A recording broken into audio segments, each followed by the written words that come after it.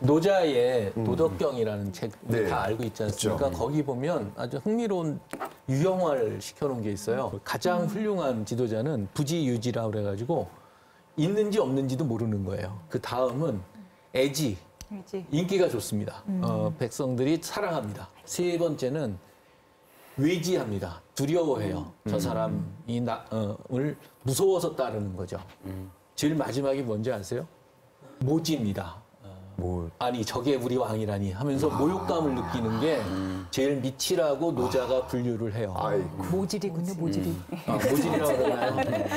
근데 연산군은 이런 착각을 아마 했던 것 같아요. 왕의 권력을 강화하면 내가 하고 싶은 일을 이렇게 내 마음대로 할 수 있는 거다. 사람을 죽일 수도 있고, 내가 원하는 걸 다 얻을 수도 있고. 그런데 여기에서부터 좀 잘못이 있었던 게 아닌가. 우리도 흔히 왕권과 신권의 대립 이런 얘기 많이 하지 않습니까? 왕권은 신권과 대립하는 순간 이건 왕권이 아니에요. 권위가 서지를 않지 않습니까? 그렇죠. 음. 그래서 이 신하들과의 관계 속에서 존경을 받으면서 국왕으로서의 권위를 지킬 수 있을 때 그때 왕권이 강화되는 거거든요.